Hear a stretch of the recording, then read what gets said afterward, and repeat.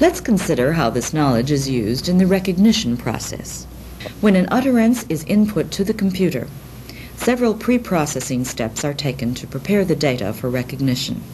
The utterance is digitized, segmented into acoustic units, and analyzed to determine the segmented features and parameters. At this point, an attempt is made to match the first segment with one of the 98 possible phone labels. The goal of the recognition task is to find an optimal sequence of phones satisfying two criteria. The sequence must represent a legal path through the knowledge network and should consist of phones with high acoustic matches. Harpy uses a beam search to locate this optimal sequence of phones. Harpy begins the beam search by taking all legal phones from the start of the sentence from the knowledge network and entering them in the recognition tree. Next, a path probability is calculated for each candidate.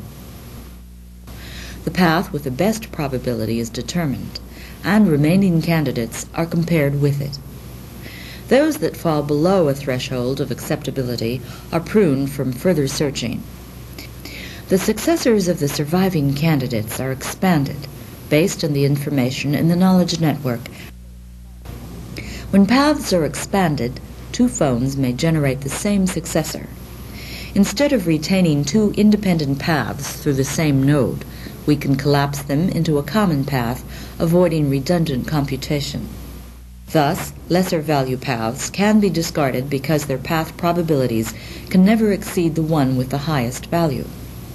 The path probabilities are calculated as before.